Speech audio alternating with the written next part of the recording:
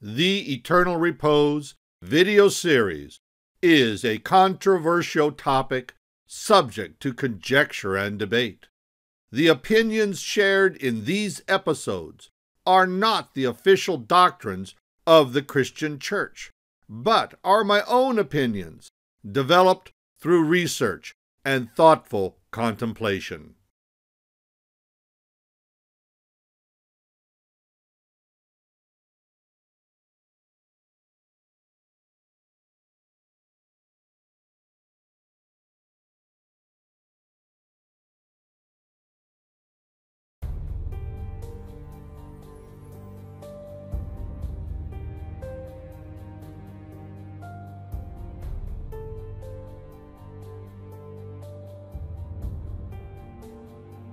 What happens when we die? Is there life after death? Around the world, and for countless centuries, this debate has flourished. One thing that is universally accepted is that death occurs when our physical body ceases to be viable and the life force within departs like a vapor ascending to the sky. For the sake of simplicity, let's refer to this life force as our soul.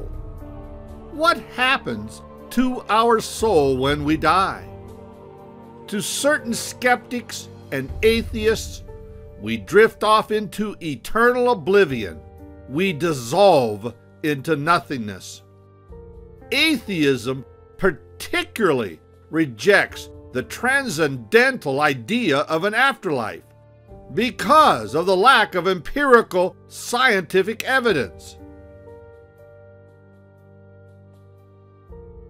Religions around the world do not subscribe to this stunted way of thinking. Not everything can be validated through scientific experimentation. Reincarnation is the predominant belief system maintained by the Hindus, Buddhists, Sikhs, Wiccas, and spiritualists. There is also a form of reincarnation in Kabbalistic Judaism. Reincarnation teaches that spiritual development continues after death as the soul begins another life in a new physical body. The eventual goal of this reoccurring process is to obtain liberation from the corruption of sin and death. One problem I have with this belief system is that memory of the past life is lost during the reincarnation cycle. How can we continue our spiritual growth if we don't remember the lessons learned during our past life?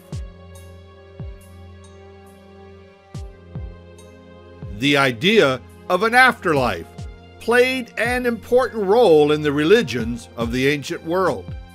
Egyptian religion taught that when the body dies, the soul would pass into the kingdom of the dead.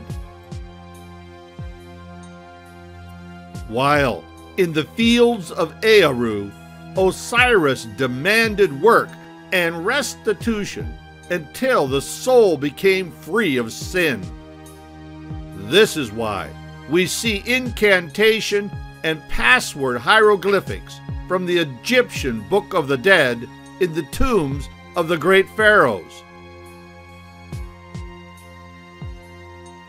The Greeks believed in an underworld lorded over by the Greek god Hades. And this underworld is a place where souls exist after death.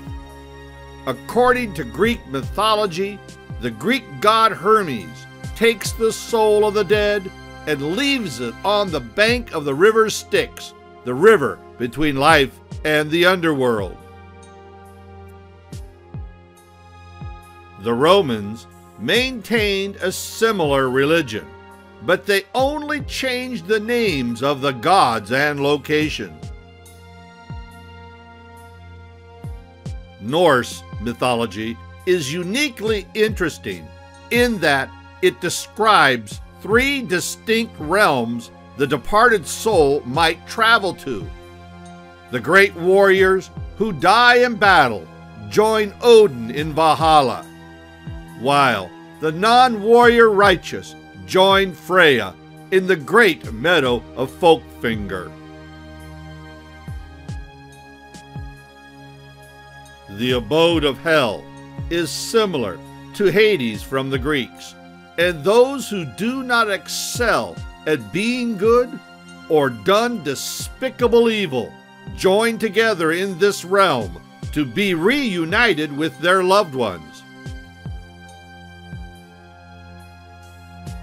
The lowest realm of the Norse afterlife is Niflheim, and this realm is similar to the Greek Tartarus. This realm is reserved for all who break oaths, abduct and rape women, and commit other evil crimes. This is a realm of great suffering and harsh punishment. I ventured through this belief review in order to show that the concept of life after death predates Christianity by thousands of years. There seems to be something deep in the heart of man that seeks for the truth about the afterlife. Again, I ask the question that I asked at the beginning of this episode, but I will modify the question somewhat. From a Christian perspective, what happens when we die.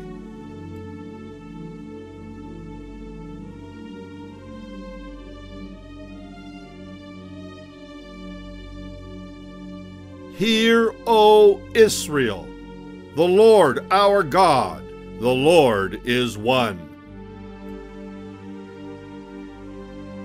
This one verse is the heart of Judaism. There is only one God named Jehovah. Judaism was not the only Middle East religion in the Levant during the late Iron Age to proclaim monotheism. The Persian religion of Zoroastrianism is the most predominant. Simply stated, monotheism is the belief in only one God or in the oneness of God. Monotheism comes from the metaphysical concept of monism, and pure monism teaches that there is only one kind of ultimate substance, and that reality is one organic whole with no independent parts. There is a problem with pure monism it does not fully address the sin and evil in our world. How could God be so righteous and good, but allow evil in the world? Some philosophers reason that God is maybe not so good, or there must be another option than pure monism. The other option was the idea of dualism, theorized by the Persians in their Zoroastrian writings. Dualism is a metaphysical idea that all things have two parts, and often these parts are in opposition to each other. In reference to God, pure dualism believes that two gods exist, one good, the other evil. The Greeks, especially Plato, formalized the Persian idea of dualism into a philosophical concept of good and evil opposing each other. Dualism will have an impact on the immortality of the soul once Christianity comes in contact with Greek philosophy. Is Judaism a pure monoist religion? The Old Testament would not support this idea. The introduction of evil in the Old Testament predates the Eden creation narrative. The prophets Isaiah and Ezekiel experienced the fall of Lucifer, an archangel of God, from God's presence because he instigated a rebellion and attempted to subjugate God. Evil was now introduced into the divine creation of God. Lucifer's rebellion cost him everything. He lost his position in heaven, and his name was changed to Satan, the deceiver. Jewish monotheism now moves away from pure monoism in a dualist direction. Satan becomes the adversary of God, but he is not God's equal. He is not a God. God has no equal.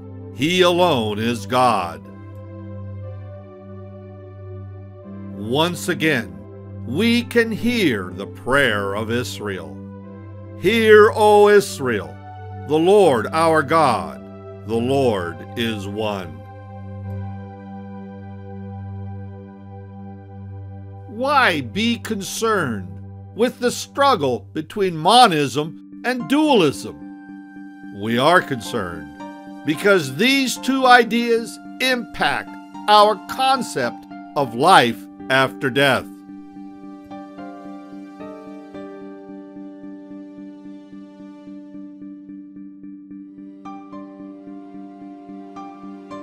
What is man? He is a living soul created by God who was given the breath of life. According to Ezekiel, all souls belong to God.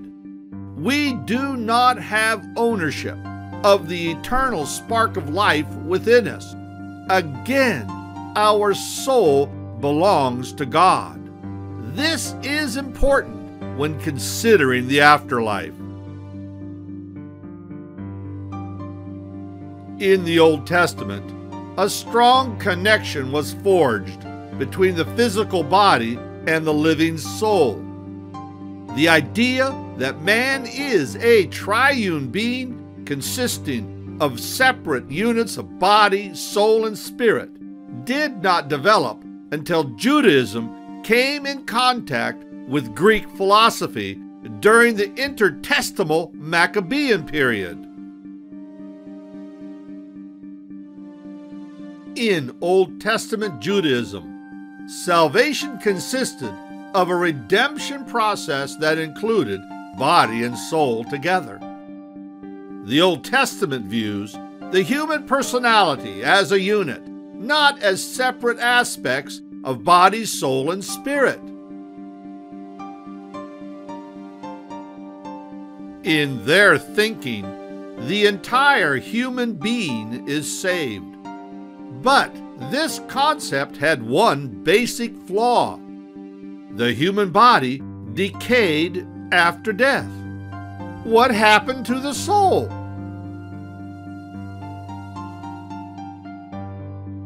The doctrine of life after death was slow to develop in Israel as an essential part of their religion, but it did arise. The stunting of this doctrine occurred partly because the surrounding polytheistic nations heralded elaborate myths concerning the afterlife, and Israel rejected all forms of polytheism. Nonetheless, a fuller knowledge of God came through the prophets who envisioned an afterlife that included both rewards and punishments. The doctrine of the resurrection of the body and soul appeared in full force during the post Maccabean period. as to why this paradigm shift occurred in Israel is unclear. Old Testament historians theorize two possibilities. Both deal with the aftermath of Greek conquest. The first possibility may have been the spectacle of mass martyrdom on a large scale. The second possibility might have been exposure to Greek philosophy. In the end, the answer to this question is still a mystery. A new concept emerged in Jewish doctrine, and that idea was the immortality of the soul independent of the body. The immortality of the soul, separate from the body, is clearly a Greek concept that emanated from Greek philosophical dualism. According to the Greeks, two agents were in opposition to each other. The created world, including human flesh, was corrupt and evil and antagonistic to the spiritual world.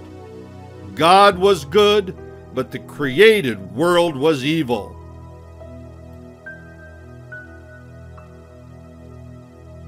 Greek dualism strongly believes in the corruption and mortal decay of human flesh, as opposed to the immortality of the soul in conjunction with the spirit.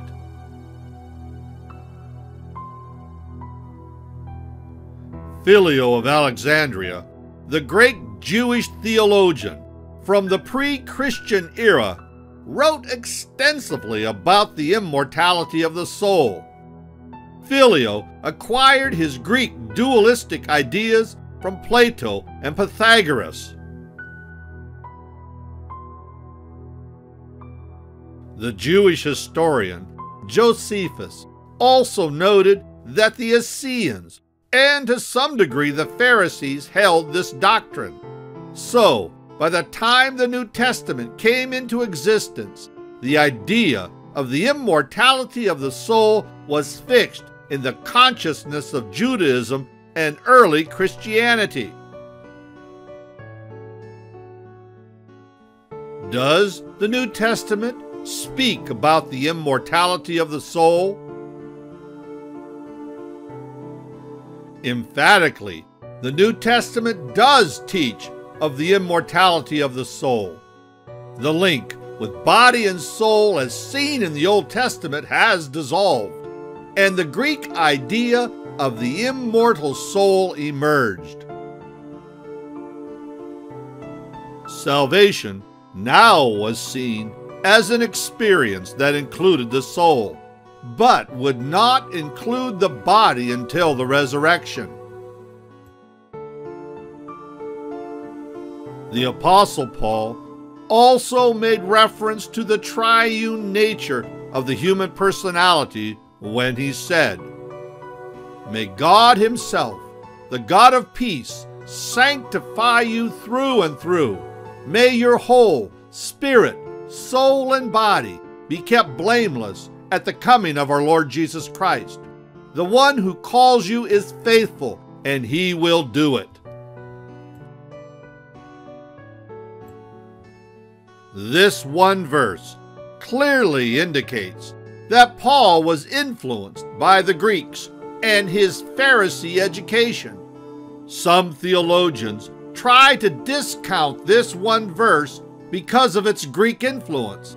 But this is a vain and foolish assumption, since most of the New Testament has a distinctive Greek flavor.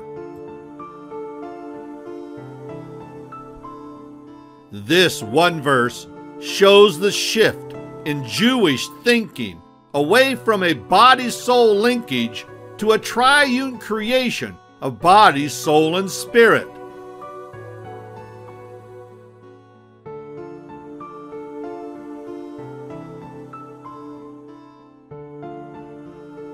Once we accept the fact that we are triune beings, we can now delve into the New Testament teaching about being born again. Let's return to the opening chapters of Genesis, where we see God forming Adam out of the dust of the ground. God breathed into his clay sculpture the breath of life, and Adam became a living soul. We also read that God created man in his own image, and God is spirit. Therefore, Adam would also have an eternal spirit.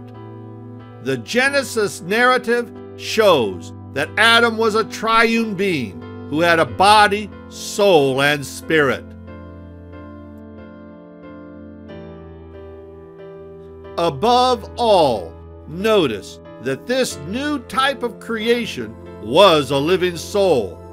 This is an important fact since the soul is the heart of man. God created Adam as a triune being in order for Adam to communicate with him in spirit while he walked with him in his physical body. As crazy as this may sound, Adam could live in two dimensions at one time. He could walk in the Spirit with God while interacting with the physical world. Adam now had two bodies a physical body and a spiritual body. Through these bodies, Adam could experience two dimensions at one time. With his physical body, Adam experienced the water and earth of the Garden of Eden located on this planet, while with his spiritual body, Adam walked with God in his garden, the spiritual paradise. The spirit of Adam was alive to God because the divine breath of life occupied his human spirit. God and Adam walked together in the cool of the day and enjoyed true spiritual interchange. Together, God and Adam enjoyed spiritual relationship. But a break was coming because God restricted Adam from eating from the tree of the knowledge of good and evil. All actions have consequences.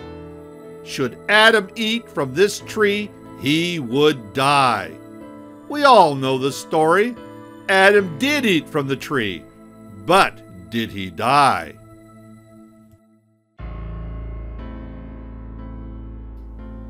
In my opinion, death began to work on Adam immediately. His physical body began to age while death eroded his spiritual man. The time came when God walked through his garden but couldn't find Adam. Why did God have difficulty finding Adam? One answer to this question is that Adam died to the spiritual dimension the divine breath of life returned back to God. Adam's spirit still existed, but it was dead to God and his spiritual dimension. Adam and God were no longer walking together in paradise. Adam hid from God in the physical Eden and among the trees God found him. I believe this event displays the true consequence of sin, and that result is death. Let me explain. Death is not obliteration or non existence. Death is separation from one of our two dimensions.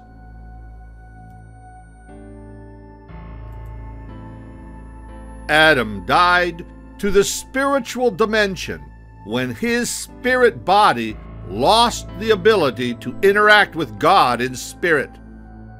Physical death has the same result. We are dead when our physical body can no longer interact with our physical world. Death is separation, not non existence. I do not believe the spirit body of Adam ceased to exist with death. But his spirit man was filled with the darkened void of separation from God. Adam would only experience the darkness of spiritual separation. Why should we be concerned with this truth found in the Bible?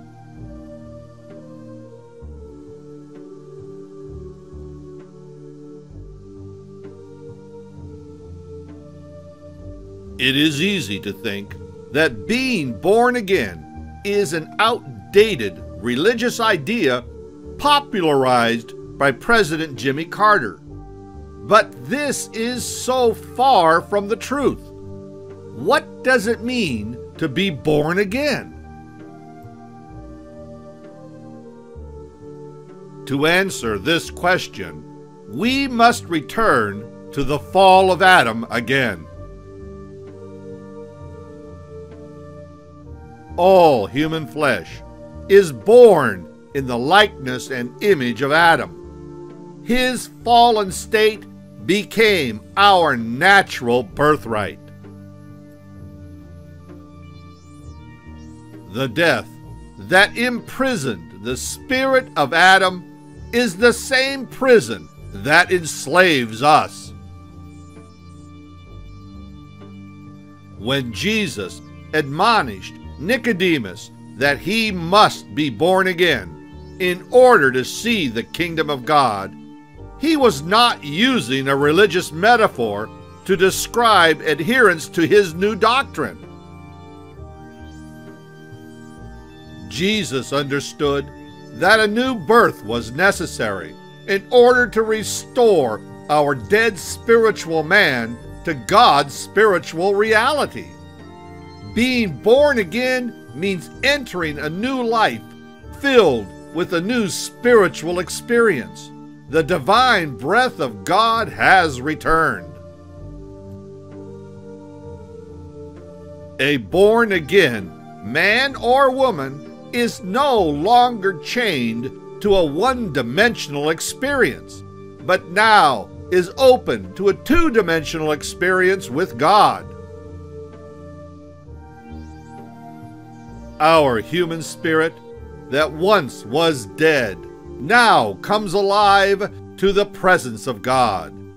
The divine nature has been implanted into our lifeless human spirit.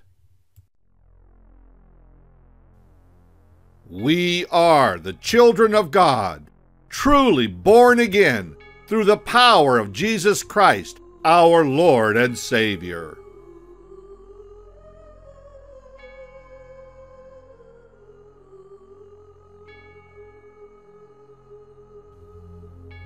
There are over 42 references made in the New Testament about eternal life.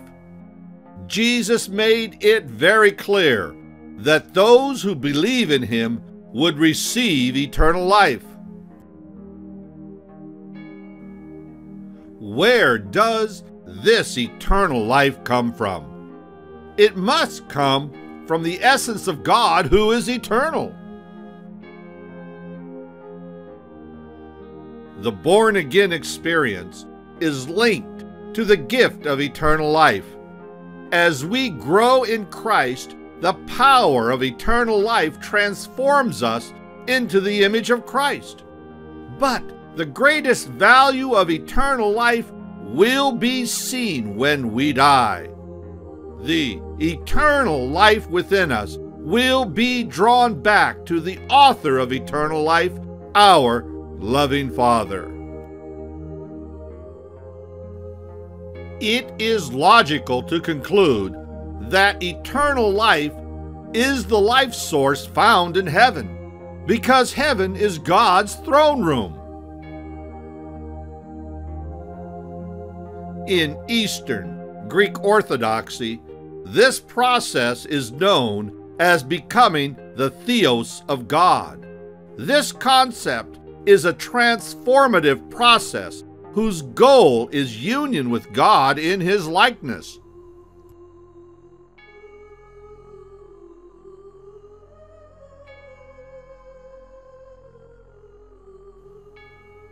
This all may be true, but what happens to my soul when I die? The answer to this question is not so simple. It has a qualifier. Is the soul alive to God through Christ or not? Let's once again return to the question asked earlier in this episode Who owns our soul? It would be easy to reason that God owns the souls of the saved, but we would be missing the simple truth that God owns all souls, redeemed or not.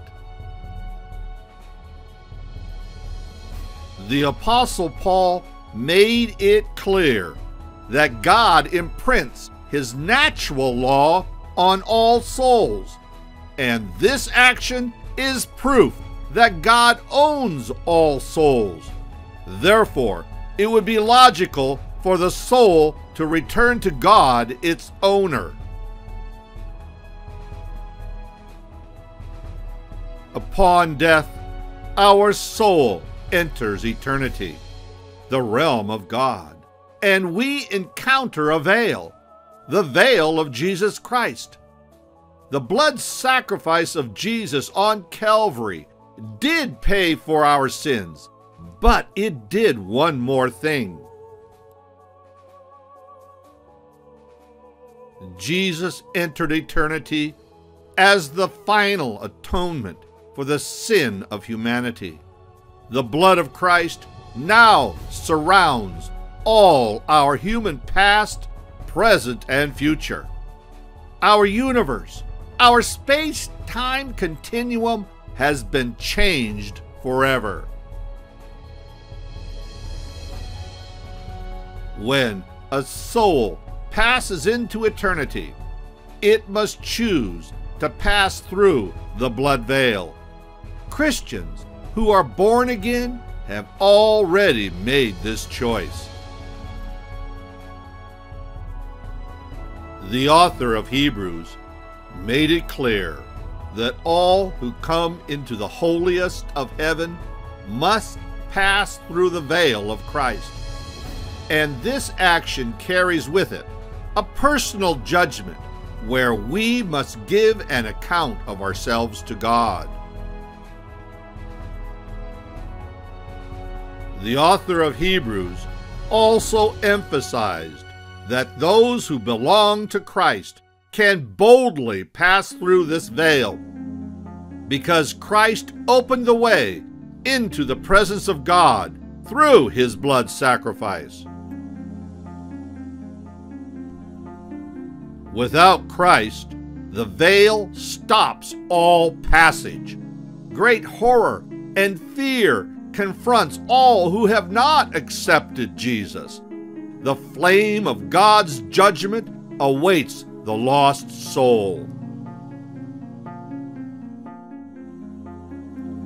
This possibility strikes great terror when confronting God without the blood of Jesus Christ do souls who pass into eternity without Christ have an opportunity to choose the path of the blood? Only God knows. God doesn't reject the returning soul as much as we might think. The soul that rejects Christ now must confront his eternal sacrifice once again. Will he or she accept Christ or reject Christ? I don't know, and neither do you. But we can speculate based upon our understanding of the New Testament. Simply stated, I believe we put people in hell way before God does.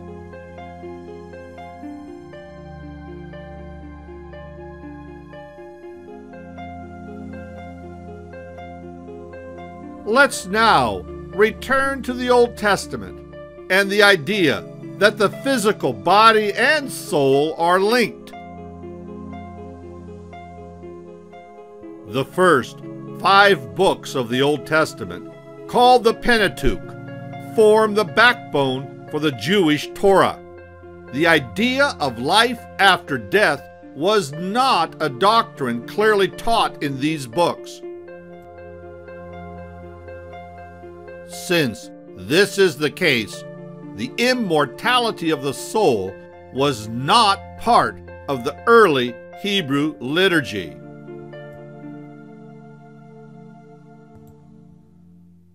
This would all change during the first Jewish diaspora in Babylon.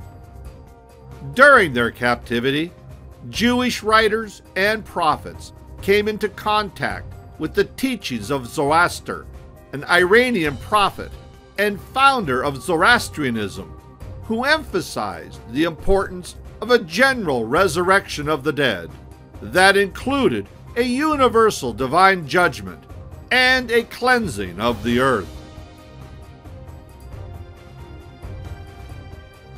The first Jewish prophet to develop the idea of a bodily resurrection was Ezekiel in his vision of a valley of dry bones, where he saw the skeletal remains of Israel's righteous reassemble as they rose from the dead.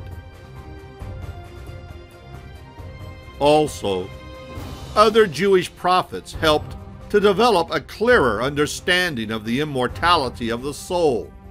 Slowly, the denial of an afterlife yielded to the fuller understanding of the prophets concerning immortality. That included rewards and punishments. How do we merge the doctrine of the immortality of the soul separate from the body with the Jewish tradition of a linked body and soul unit? God revealed the answer to the prophets by showing them a coming resurrection that will raise the dead from the grave.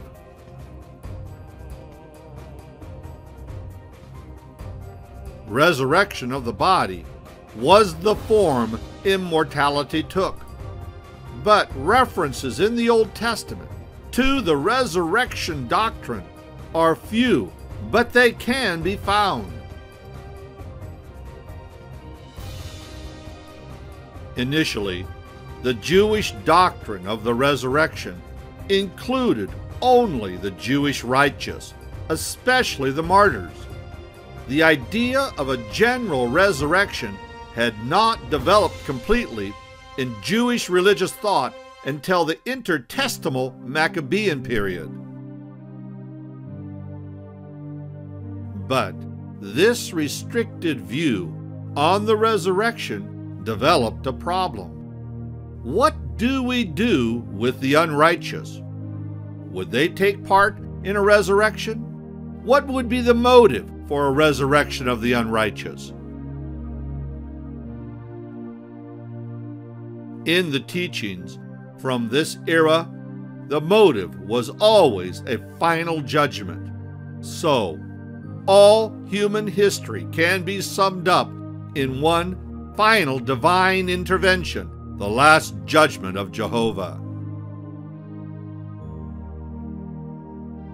Not all factions of Israel agreed with the evolving doctrine of immortality and the resurrection. During the Maccabean period, from 164 BC to 63 BC, the two main religious political parties developed and they were antagonistic to each other. The first religious political group was the Sadducees, who came from the priest class of high society. This political group refused to believe in an afterlife or in the resurrection of the dead because the Torah made no reference to immortality. Generally, the Sadducees rejected most of Israel's prophetic writings. The second group was the Pharisees, who came from the scribes of the middle class of society. The Pharisees strongly believed in Israel's prophets. Therefore, they believed in an afterlife and a resurrection. They also believed that God would punish the wicked and reward the righteous in the world to come.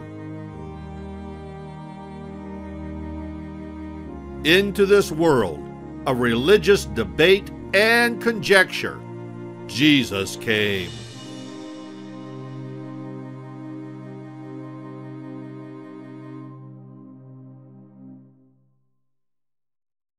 Jesus brought clarity to the issue of the resurrection in his teachings.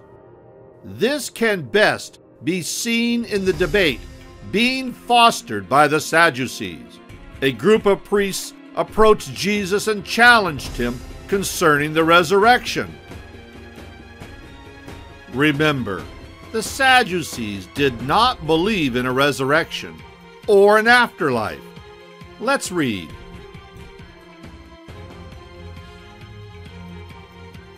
Then the Sadducees, who say there is no resurrection, came to him with a question.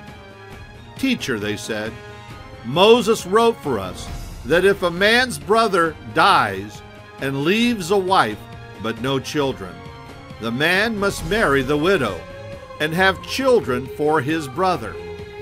Now, there were seven brothers. The first one married and died without leaving any children. The second one married the widow, but also died, leaving no children. It was the same with the third. In fact, none of the seven left any children. Last of all, the woman died too. At the resurrection, whose wife will she be, since the seven were married to her? Jesus replied, Are you not in error because you do not know the Scriptures or the power of God. When the dead rise, they will neither marry nor be given in marriage. They will be like the angels in heaven. Now, about the dead rising, have you not read in the book of Moses, in the account of the bush, how God said to him, I am the God of Abraham, the God of Isaac, and the God of Jacob. He is not the God of the dead, but of the living. You are badly mistaken.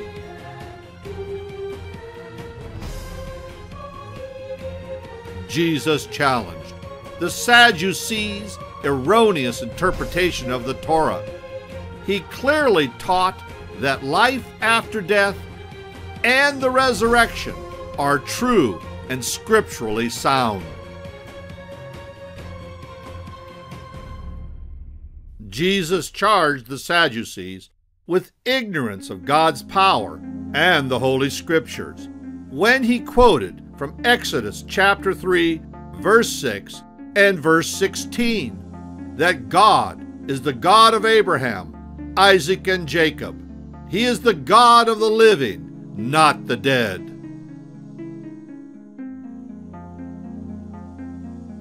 Why would God be God to someone who no longer exists, who has dissolved into oblivion. Abraham, Isaac, and Jacob must be alive with God in his presence.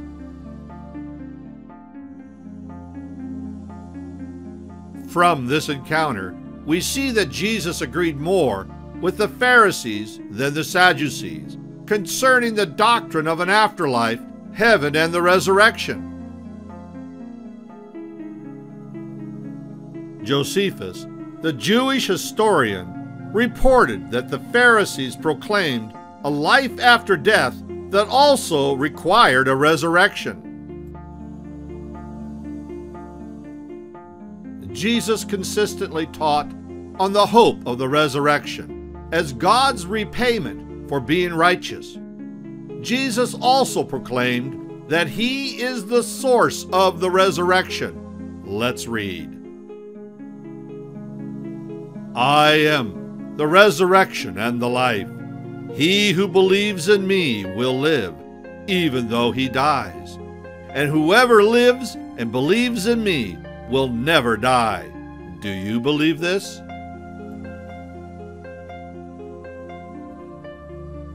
What a promise!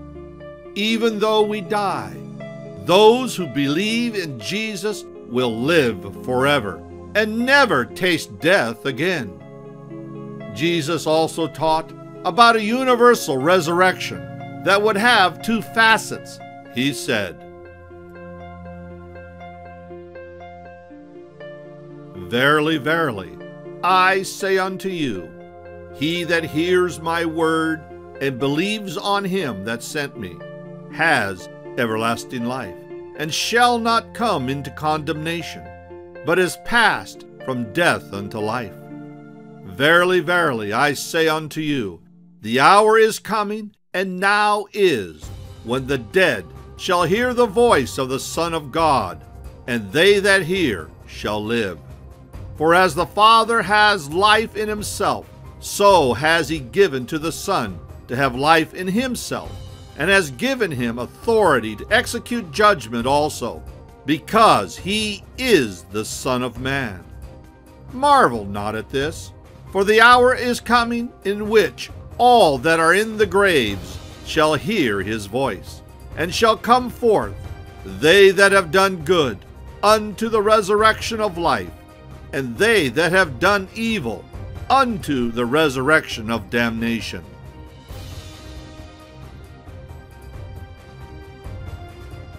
No doubt, Jesus subscribed to the emerging doctrine of a general resurrection that included all souls.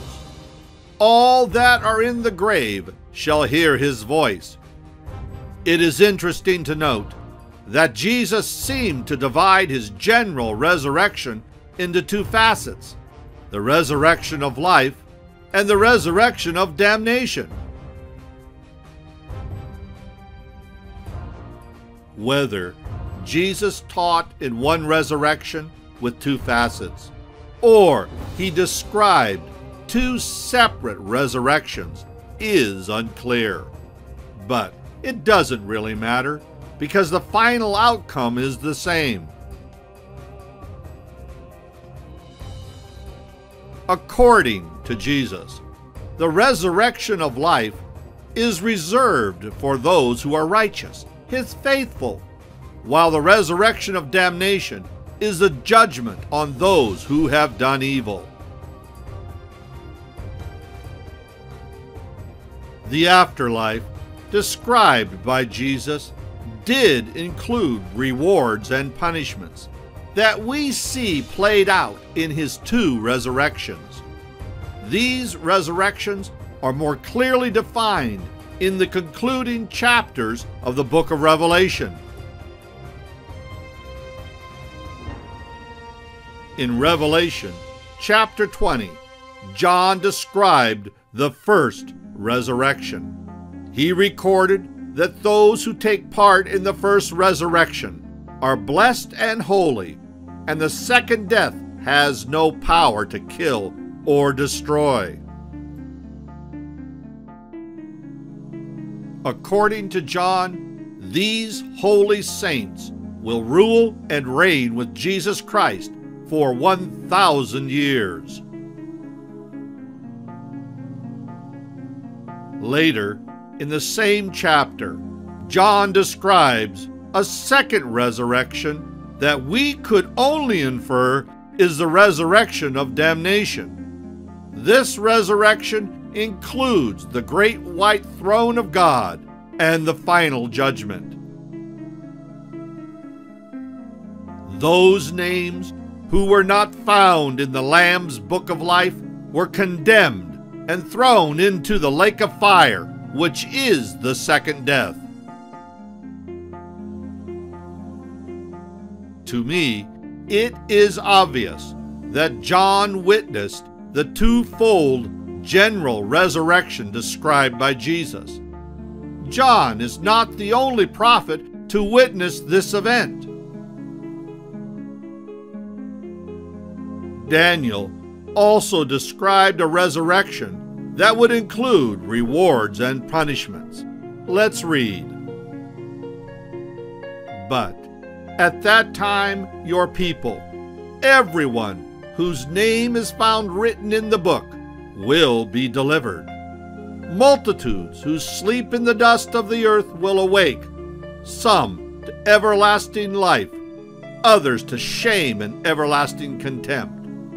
Those who are wise will shine like the brightness of the heavens, and those who lead many to righteousness like the stars forever and ever.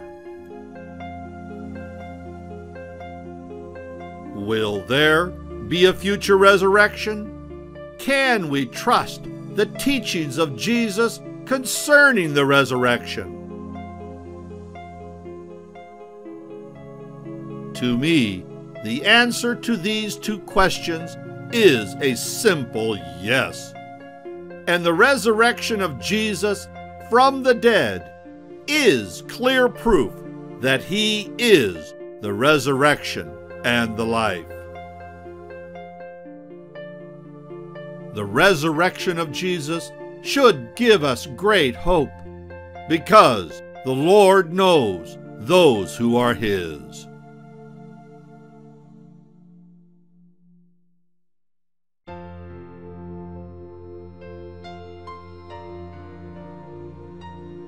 I often hear Christians quote from the Apostle Paul that to be absent from the body is to be present with the Lord.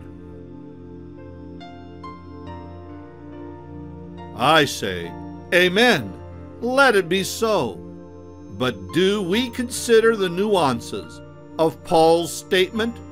When we agree with Paul, we also accept the Greek philosophical teaching of the immortality of the soul distinct and separate from our physical body.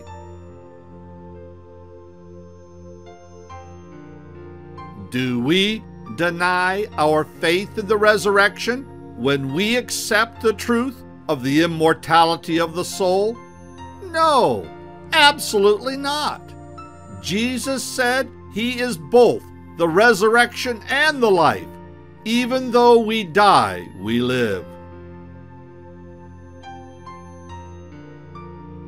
Our soul is immortal in Christ. Once we accept this truth, we also must accept the truth that to be absent from the body is to be present with the Lord.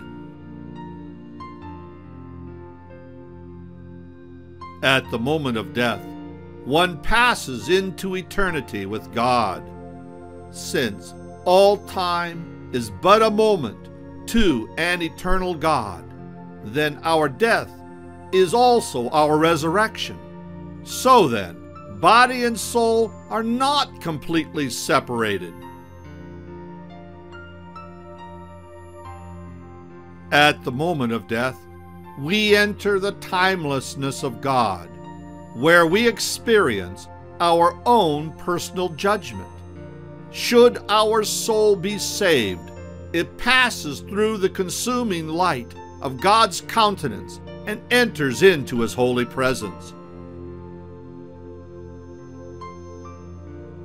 I don't know what happens to unbelieving souls upon death.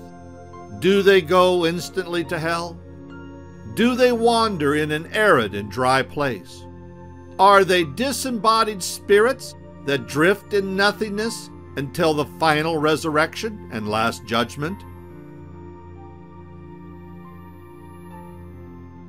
The Book of Enoch, an apocryphal manuscript written from around 170 BC, described the horror and confusion of the Last Judgment seen through the eyes of unbelieving souls.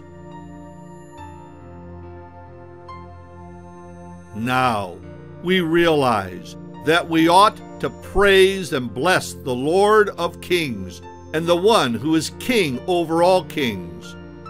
And now we long for a respite, but do not find it. We are driven off and do not obtain it, and the light has passed away from before us, and darkness will be our dwelling forever and ever. Again, I don't know what will happen, but what I do know, it is a fearful thing to fall into the hands of a living God.